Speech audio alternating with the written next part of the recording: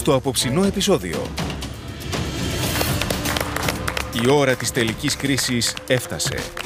Σταυρής, Μαρία, Σταύρος και Τζον καλούνται να αποδείξουν στους κριτές πως αξίζουν να βρίσκονται στο μεγάλο τελικό του Masterchef. Είστε οι τέσσερις καλύτεροι του φετινού Masterchef. Αυτό τίποτα δεν το αλλάζει.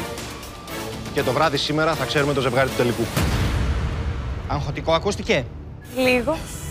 Ποιοι δύο στο τέλος της ημέρας θα φύγουν με την πικρή γεύση της αποτυχίας και ποιοι θα είναι οι δύο χρυσοί φιναλίστ του Masterchef; Τελικά, δύο από τους τέσσερις σήμερα θα πάνε στο μεγάλο τελικό. Τελειώσαμε.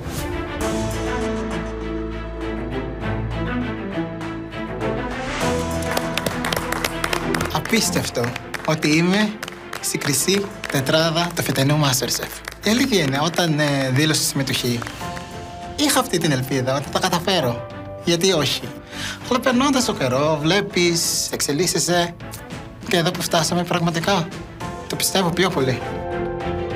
Από εγωισμό φτάσαμε μέχρι εδώ. Τα είχα παραδείσει αρκετές φορές στο, στο διαγωνισμό λόγω ψυχολογίας. Αλλά έχω φτάσει μέχρι την πηγή. Είναι κρίμα να, να μην πιω το νερό. Εξ αρχής πίστευα ότι είναι ένα σύμπλεγμα πραγμάτων που θα σε φέρει, αν σε φέρει τετράδα, τελικό, οτιδήποτε.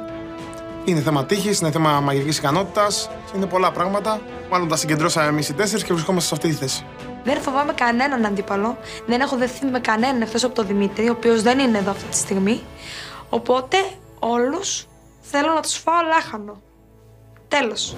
Γενικά ο Σταυρής, το λέμε αγάπη αυτό, είναι από τα άτομα τα οποία έχουν έπαρση για τον εαυτό τους. Το παιδί γνωρίζει πάρα πολύ καλά να μαγειρεύει. Παρ' όλα αυτά όμως μπήκε σε έναν διαγωνισμό και δεν μου αρέσει να βλέπω ανθρώπους που την πρώτη στιγμή καφιούνται για τον εαυτό τους. Γιατί συγκριτικά ο Σταύρος έχει καλύτερη απόδοση από το Σταυρί. Αλλά ο Σταύρος είναι χαμηλών τόνων. Και το πάει τελείως στο χαβαλέ. Χαβαλέ με τα ρούχα, με το στυλ. Δεν πάει και λέει εγώ είμαι ο νικητής και κάθεται και χουλιγκανισμός, ξέρω, στο σπίτι, ειδικά στην αρχή είμαστε, όταν είμαστε με πόσα άτομα. Και ο Σταυρής έχει κάνει πατάτες. Ο Σταύρος δεν έχει κάνει μέχρι στιγμής.